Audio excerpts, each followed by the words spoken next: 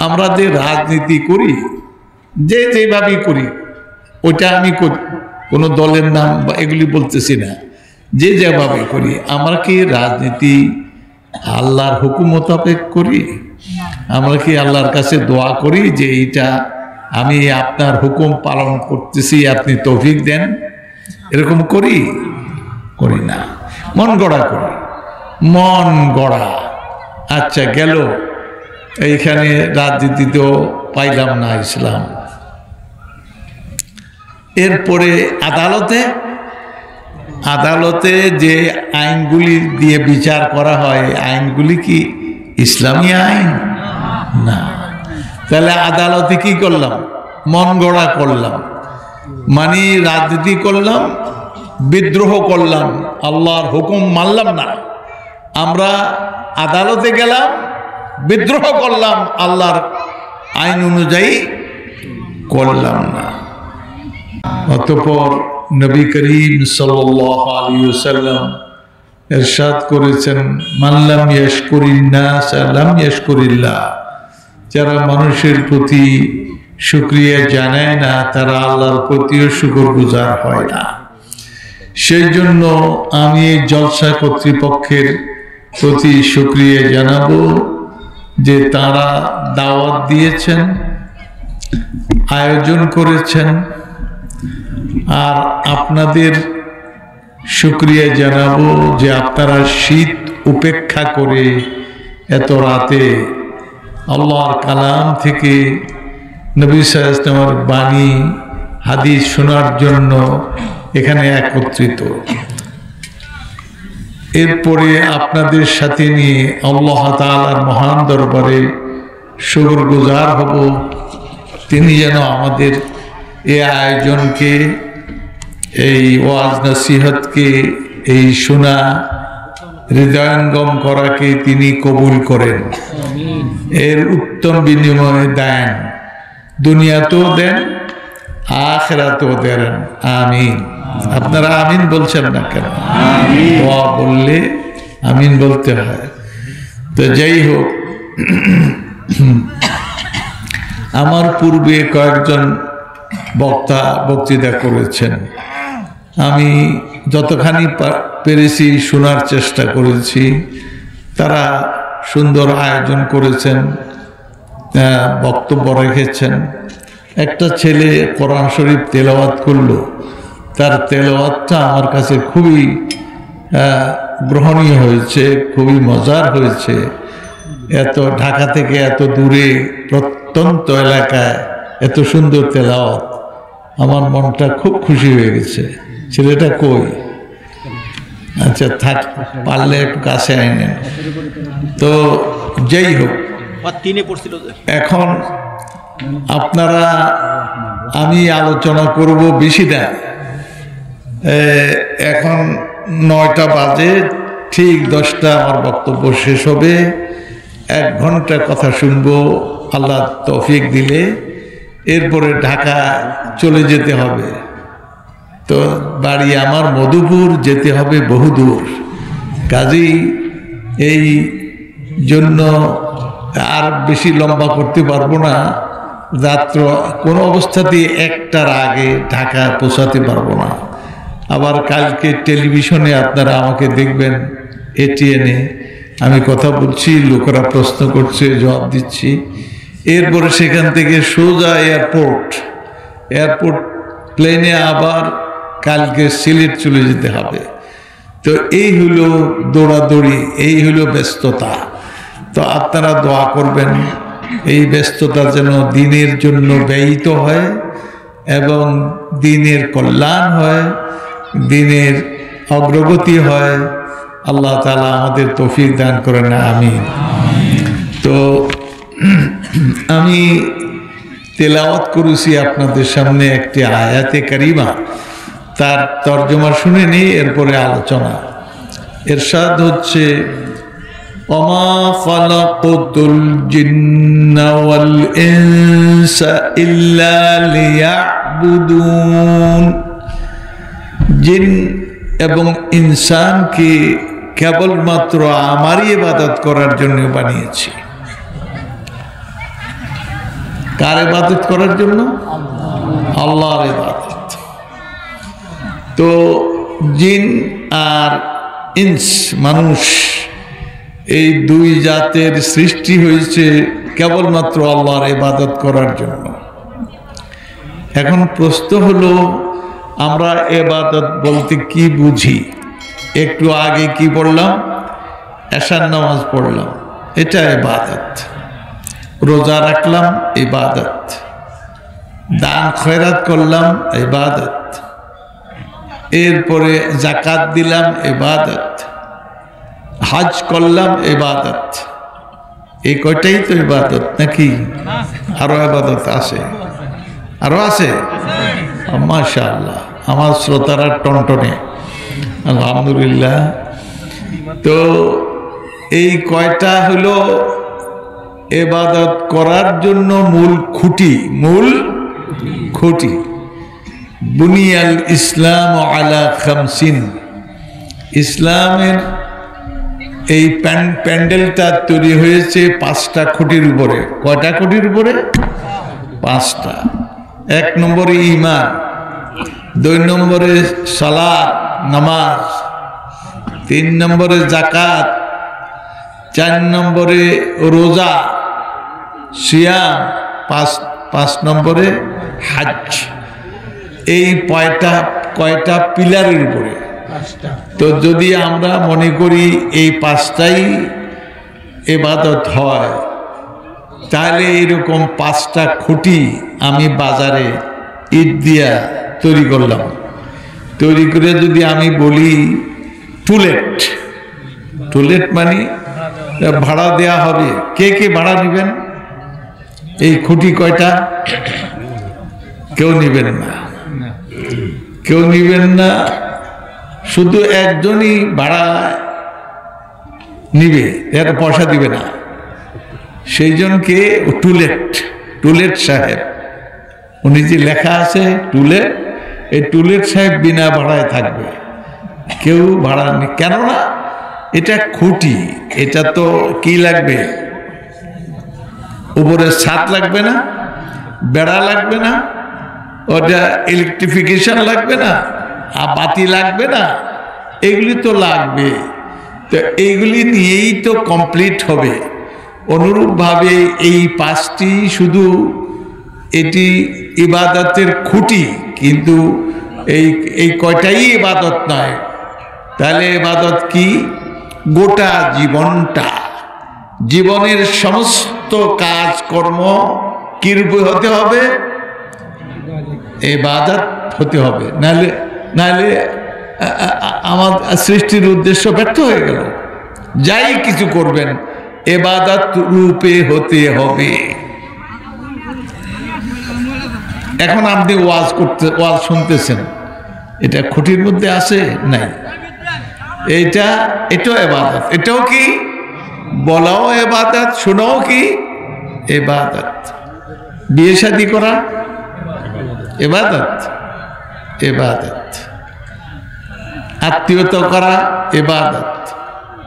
দোকানদারি করা? এবাদত। আচার আদালত করা? এবাদত। রাজনীতি করা, এবাদত। প্রস্রাব করা, পায়খানা করা, এবাদত। ঠিক নেবে ঠিক এমনকি ঘুমানো কি?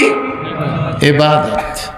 তাহলে কোন জিনিসটা যেটা এবাদতের বাইরে আছে, কিন্তু এটা করলে এবাদত হয়ে যাবে না এটার জন্য দুটা জিনিস লাগবে। কটা জিনিস?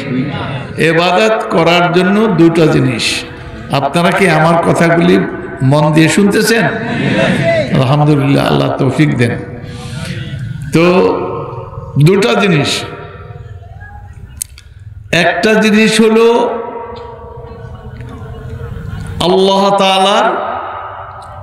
তৌফিক এবং হুকুম।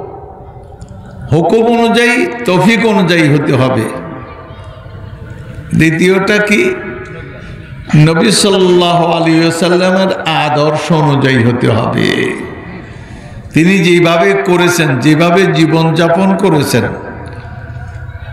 এটাকে বলা হয় ইলাহা ইল্লাল্লাহ। আল্লাহ ছাড়া কোনো মাবুদ নেই। মোহাম্মদুর রসুল্লাহ মোহাম্মদ সাল্লাহ আলী সাল্লামের তরিকা অনুযায়ী আমরা এবাদত করতে হবে। আল্লাহর জন্য করতে হবে, নবী সাল্লামের তরিকা অনুযায়ী। আমরা কি এই দুই শর্তে আমাদের জীবনের সব কাজগুলি কি করি? আমি প্রশ্ন করি, সবগুলি কি করি? ইন্না লিল্লাহি ওয়া ইন্না ইলাইহি রাজিউন। এই দুইটা শর্তে জীবনের সমস্ত কাজ করতে হবে। এখন বলেন, নামাজ তো পড়লাম, নবী সাল্লামের তরিকা অনুযায়ী, আল্লাহর হুকুম অনুযায়ী। কিন্তু রাষ্ট্রটা যে চালাই, রাজনীতি করি, এটা কি আল্লাহর হুকুম মোতাবেক পরিচালিত করি? হ্যাঁ? তাহলে এবাদত হলো না। এবাদত হলো না। নবী সাল্লাম রাজনীতি করছিলেন?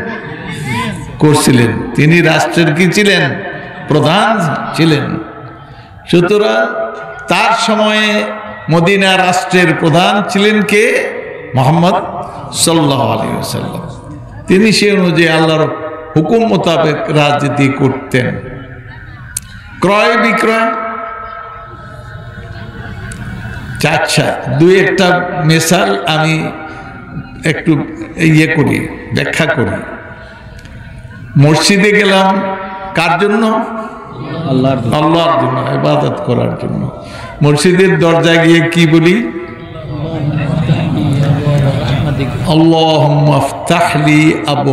রহমাতিক। আয় আল্লাহ এই আমার প্রতি আপনার রহমতের দরজাগুলি খুলে দেন। দোয়া করলাম। এরপরে পা কোনটা দিতে হয় আগে? ডান পা। ডান পা। এটা কার তরিকা? মোহাম্মদ রসুল্লাহ লা ইলাহা ইল্লাল্লাহ মোহাম্মদুর রসুল্লাহ তার অনুযায়ী ঢুকলাম। সুতরাং এবাদত করলাম। এবার এটা হলো সবচাইতে বড় কাজ। আর সবচাইতে ছোট কাজ কোনটা? কন্ত দেখি। সবচেয়ে ছোট কাজ আমাদের জীবনে কোনটা? আপনারা বলছেন না বুদ্ধি খাটিয়ে যে কোনটা কয়ে কোনটা বিপদে পড়ব, দরকার নেই, ওনাকে দেওয়ার দিছি উনি এই কায়দা হইল আপনাদের। এই কায়দাটা খারাপ না, তবে চিন্তা করলে বলতেও পারতেন। সেটা হলো সবচাইতে ছোট কাজ, নিচের কাজ হইল টয়লেটে যাওয়া। টয়লেটে যাই না আমরা সবাই যাই না। আমি একটু আগেও গেছি। টয়লেটে গেলাম। টয়লেটে গিয়ে আপনি মসজিদে তো দোয়া করলেন টয়লেটে কিন্তু দোয়া টোয়া নাই। আছে? তো মসজিদে এবাদত করলেন টয়লেটেও কি এবাদত করলেন? আপনি বললেন আল্লাহুম্মা ইন্নি আউযু বিকা মিনাল খুবসি আপনি আল্লাহর কাছে দোয়া করলেন। কিন্তু তরিকা নাই, কোন কীভাবে ঢুকবেন, কোন পা আগে দিবেন? বাম পা। মসজিদে ডান পা, টয়লেটে? তো মসজিদেও আল্লাহর কাছে দোয়া করলাম, নবী সাল্লামের তরিকা মানলাম। টয়লেটও আল্লাহর কাছে দোয়া করলাম, কার তরিকা মানলাম? নবী সাল্লাম এবাদত হয়ে গেল। তো মসজিদটাও করলাম টয়লেটও গেলাম। এইবার আমরা যে রাজনীতি করি, যে যেভাবেই করি, ওইটা আমি কোনো দলের নাম বা এগুলি বলতেছি না। যে যেভাবে করি, আমরা কি রাজনীতি আল্লাহর হুকুম মোতাবেক করি? আমরা কি আল্লাহর কাছে দোয়া করি যে এইটা আমি আপনার হুকুম পালন করতেছি, আপনি তৌফিক দেন? এরকম করি? করি না। মন গড়া করি। মন গড়া। আচ্ছা গেল। এইখানে রাজনীতিতেও পাইলাম না ইসলাম। এরপরে আদালতে আদালতে যে আইনগুলি দিয়ে বিচার করা হয়, আইনগুলি কি ইসলামী আইন? না। তাহলে আদালতে কি করলাম? মন গড়া করলাম। মানে রাজনীতি করলাম বিদ্রোহ করলাম, আল্লাহর হুকুম মানলাম না। আমরা আদালতে গেলাম, বিদ্রোহ করলাম, আল্লাহর আইন অনুযায়ী করলাম না। সুবহানাল্লাহ। এরপরে ক্রয় বিক্রয় করতে গিয়া আমরা কি করি? আল্লাহ তালা বলছেন অজিনু ওইখানে তো বলি নেই আদালতে আল্লাহর কি হুকুম?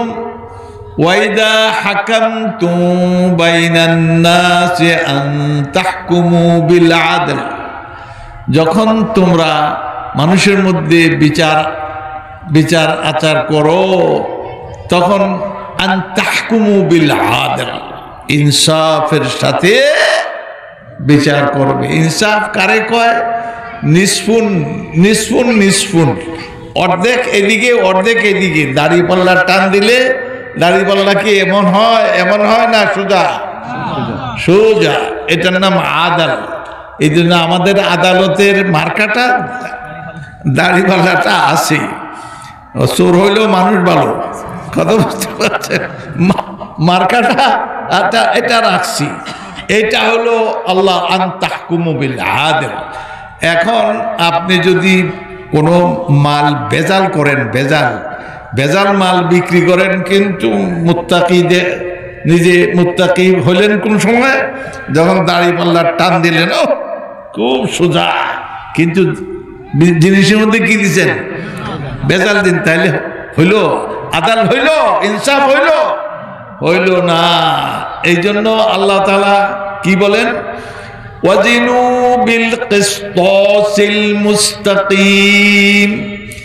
তোমরা যখন ওজন করবা, জিনিস জিনিসপত্র বিক্রি করো, তখন দুইটা শর্ত সামনে রাখো।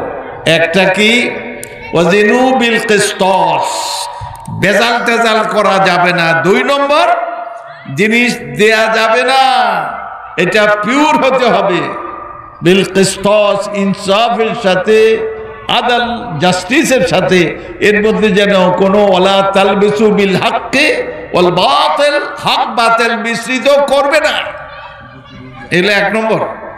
দুই নম্বর, মুস্তাকিম। মুস্তাকিম মানে এক দাড়ি পাল্লাটা কি? কি করতে বলছে? সোজা রাখতে কইছে। দুইটা শর্ত। কাজে আপনি সোজা রাখলেন, কিন্তু ভেজাল দিলেন, হলো না। জিনিসটা, ওলা তাল বেসু আল হাক্কা বিল বাতিল, হক বাতিল মিশ্রিত করবে না। সুতরাং আপনি আদাল যদি এই দোকানদারি করলেন তাহলে আপনি দুই নম্বর কাজ করলেন। তো এমনি ভাবে শিক্ষা শিক্ষা আমাদের মাদ্রাসায় তো মার্শাল্লাহ কোরআন, হাদিস পড়ায়। স্কুল কলেজে পোলামানে শিক্ষিত হয়, কিন্তু এই এই পোলামানগুলি কি করে? এইগুলি মারামারি করে। এগুলি কি করে? এইগুলি অফিসার হইলে ঘুষ খায়।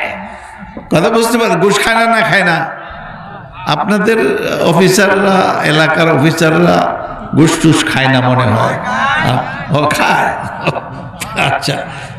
এরা পড়া, তাদের পড়ার মধ্যে, তাদের যে পড়ালেখা করে, এর মধ্যে এটা জানি না যে এই রকম ইয়া করা, ইনসাফের খেলাফ কাজ করাতে কত বড় গুণা? কিন্তু তারা জানে না। কারণ শিক্ষা এমন ব্যবস্থা আমরা চালু করছি, যার মধ্যে আল্লাহ রসুল আখেরাত পরকাল এবং ইনসাফ, এগুলি জাহান্নাম, দোজখ, জান্নাত, এইগুলি নাই। না থাকার কারণে ফলহানগুলি কি হয়? শিক্ষিত কিন্তু দুষ্ট। শিক্ষিত কিন্তু হারামখোর। শিক্ষিত কিন্তু মারামারি, খুনাখুনি করার মধ্যে উস্তাদ। এটা কি আমাদের মূর্খ মানুষগুলি খুনাখুনি করে না স্কুল, কলেজের ফলনগুলি বেশি মারামারি করে? কোনটা? পত্রিকা কি দেখেন? ও, তার কারণ তারা এটা পড়ে না। আমাদের পড়ার ব্যবস্থা, শিক্ষা ব্যবস্থা, এটা ইসলাম থেকে বঞ্চিত। সুতরাং আমার জীবনটা, গোটা জীবনটা, যে কোনো কাজ করি, যে কোনো কথা বলি, কথা এবং কাজ, কর্ম সব কিছু এবাদাতের রূপে হতে হবে। কিতে হবে? এবাদাতের রূপে হতে হবে। কারণ আমাকে বানানো হয়েছে কিসের জন্য? وما خلقت الجن والإنس إلا ليعبدون জিন এবং ইনসানকে আমি সৃষ্টি করি নাই কেবলমাত্র আমার এবাদত করার জন্য করেছি তাহলে যে কোনো কাজ করবেন এবাদতের রূপে হতে হবে আর কেয়ামতের দিন আপনার আমলগুলি কি করবে আপনারে ওজন দিবে না আপনার আমলগুলি ওজন দিবে কোনটা কি বিশ্বাস করেন আপনারা? কেমতের দিন যে ওজন দিবেন, আল্লাহ তালা এই দাড়ি পাল্লায় ওজন দিবেন। আপনার ওজন দিবেন না, আপনার আমলগুলো। তখন কি অবস্থা হবে? তখন দাড়ি পাল্লা কোনটা ভারী হবে? আমাদের আমল, নামাজ, রোজা হাত জাকাত যাই হোক যদি ঠিক মতো করে থাকি একটু ওজন হইল। কিন্তু এগুলি বেশি না, বাকি কাজ, বিয়ে, শাদি, ঘর, সংসার, রাজনীতি, আদালত, ক্রয়, বিক্রয়, শিল্প, কারখানা, এগুলি কোনটা বেশি? ও এইগুলি বেশি। তাহলে ওইগুলি করলেন, আর বেশিটা ইসলাম বর্জিত, ইসলাম ছাড়া করলেন, তাহলে কেয়ামতের দিন আমল যখন ওজন দিবে, তখন ওজনটা কেমন হবে? এবাদতের পাল্লাটা উপর দিকে থাকবে আর মহামালাত জীবনের কাজ দুইটা। একটা হলো এবাদত আর একটা মহামালাত মানুষের একটা হলো আল্লাহর মধ্যে, বান্দার মধ্যে কাজ, এটা এবাদত আর বান্দায় বান্দায় যে কাজ করে, এটা এরকম মহামালাত। লেনদেন, এই মহামালাত তো এবাদতের রূপে হতে হবে। কারণ আমি অমা খালাকুল জিন্না ওয়াল ইনসা ইল্লালিয়াবুদুন ইবাদত করার জন্যে। তাইলে আমরা যে লেনদেনগুলি করলাম